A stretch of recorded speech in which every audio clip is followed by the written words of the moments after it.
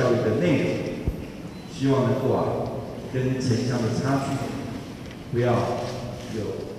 愈加严重的啊这个距离，所以我们不断的希望通过现有的预算，能够啊购置这个一般的电子书，能够让我们所有的孩子都能够来阅读、借阅，同时呢。让进入花莲的每一位好朋友跟花莲的乡亲也能够啊，同样的可以在网上能够啊阅读到非常丰富的啊电子云的内容，两百四十片的平板电脑，还有一台充电车，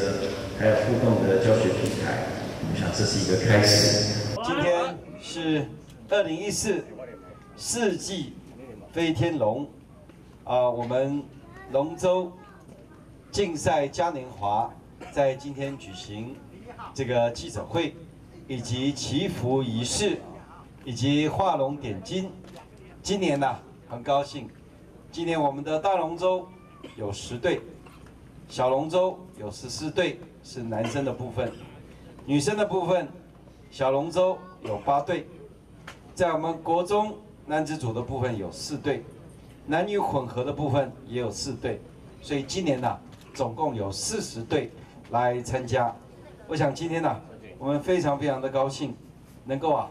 为在端午佳节前夕，能够啊，为我们民族传统的习俗，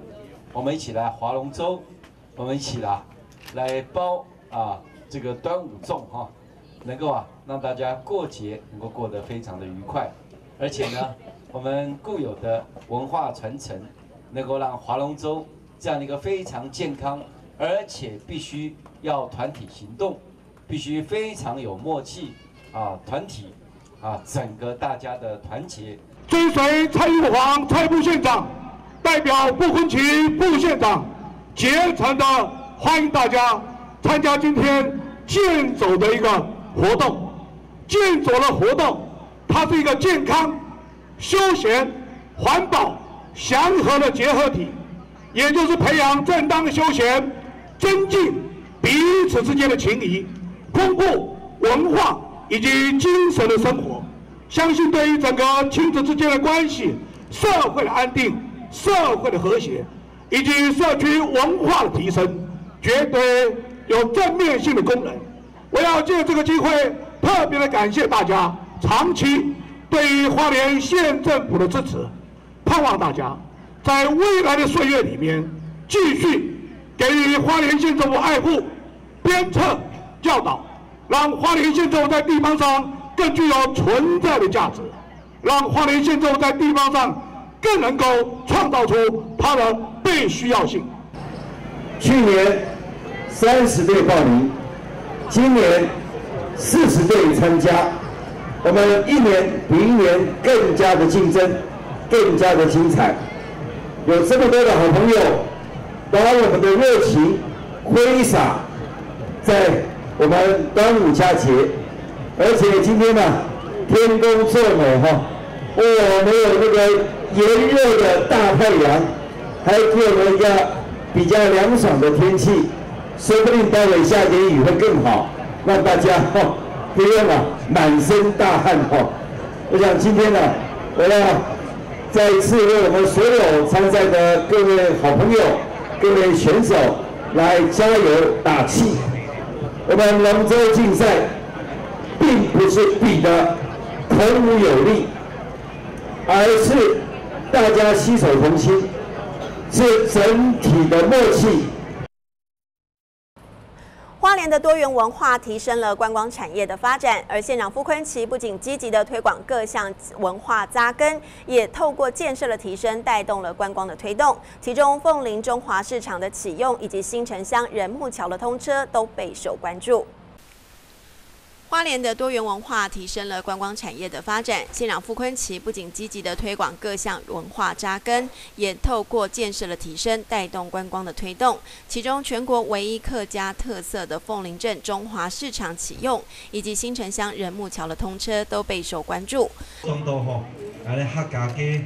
啊，客家庄由东都啊尼客家嘅特色嘅文化，我来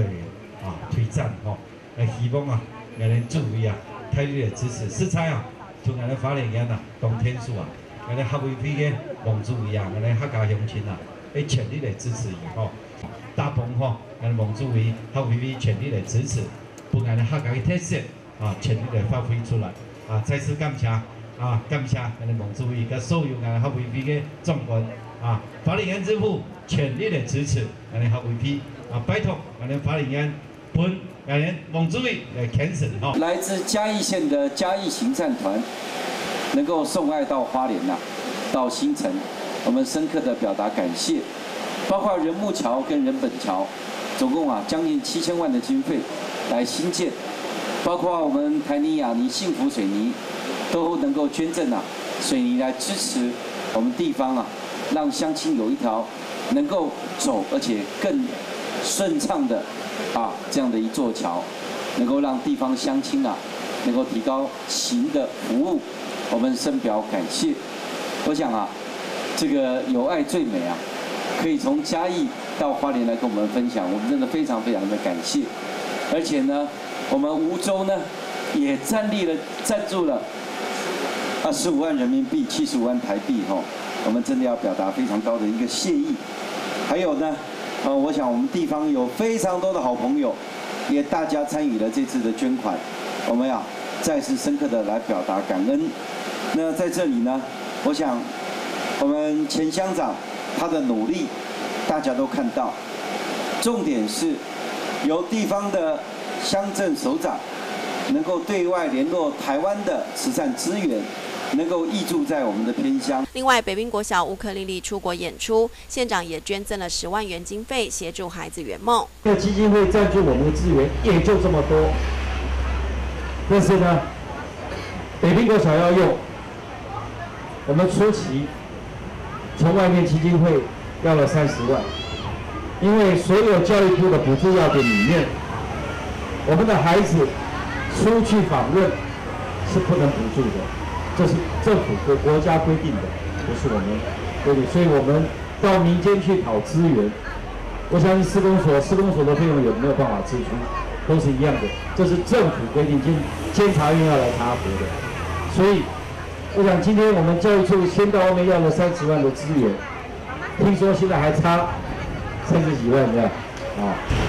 那这样子啊，我今天哈、我个人赞助十万块了，好不好？包括唐卡艺术家林根进拜会县府、舞动部落舞蹈比赛、北滨净滩活动、花莲市多元族群美食博览会、五谷宫文化艺术节、原民文化传承关怀活动以及花莲西瓜行销活动等，都看见县长亲力亲为的身影，也让乡亲们感受到县长对于文化传承的重视。每一个年龄层非常非常纪律严明，把这样的小孩在部落长大，清清楚楚，要敬老尊贤，这个是我们汉人社会要特别特别，要像我们原住民乡亲一样，在部落里面长幼有序。我们希望这样的一个很好的部落文化传统要代代传承。我们花莲的原住民乡亲在这里表扬我们敬爱的母亲，模范母亲，所以昆奇一定要赶过来，向所有部落伟大的母亲来跟大家请安致意问好。今天呢，是我们春季的净滩活动，来到非常非常漂亮的我们北滨海滩，来跟各位啊、好朋友一起啊，来爱惜环境，来珍爱我们的花莲，一起啊啊、把我们啊周遭这么美好的环境，能够把它打理打理，能够更加的整洁，更加的环保。再次谢谢各位，今天呢、一起爱花莲，一起啊，我们身体力行啊，来疼惜我们的乡土。五佳节的前夕，我们很高兴施工所能够举办呐、这样的一个活动，让来自各个地方、各个不同文化、我们各个族群的美食，能够啊跟大家一起来分享。我想今天看到我们十八省跟我们部落头目坐在一起，我就可以感觉到，还有我们总工会我们川塞啊，我们陈理事长啊，跟田志轩田市长两个都很喜欢戴高帽子哈，啊，很开心呐。这个相信呢，今天的美食啊，一定会带给大家一个不同的一个体验。我想花莲就是一个族群融合的一个地方，我们希望呢，让十八省同乡的美食，跟我们在地部落的文化，还有呢，台湾道地的这些小吃啊，能够今天呈现给大家。昆奇四年前做研究的时候，我们反炸一百二十个 Nara，一百二十个部落。到现在，到现在已经多到一百二十六个部落，每一个部落我们都啊一定要给他办丰年祭，让年轻的嘎巴嘎义能够回到部落来，让我们一起来祭祖灵，把我们的文化能够传承。我们的经费很拮据，但是对于部落的支持，我们不但没有减少，还在增加。像啊，今天你的西瓜。是在台湾首屈一指，应该说台湾真正的一品西瓜都在花莲。呃，记得啊，我们第一次啊，把花莲的西瓜送到啊台湾各地啊，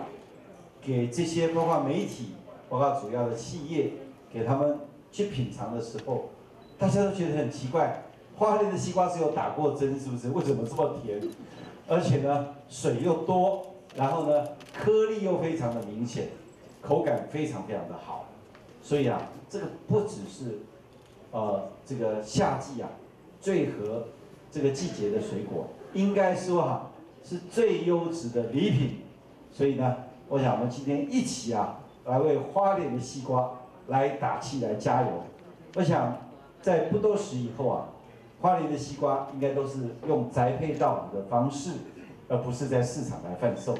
我想啊，我们这几年全力的推展花莲最优质的这些农特产品，让我们常年保护我们的环境，让有机无毒、最适合我们这样的最高品质的我们的农作，能够在花莲呢顺利的成长。以上是一百零三年五月份的今日花莲现场报道，感谢您的关心。